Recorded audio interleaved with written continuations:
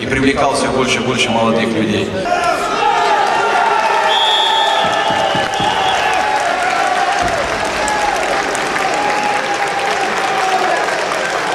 Финальном поединке среди мужчин на этих коврах сегодня выступают представители 75 стран.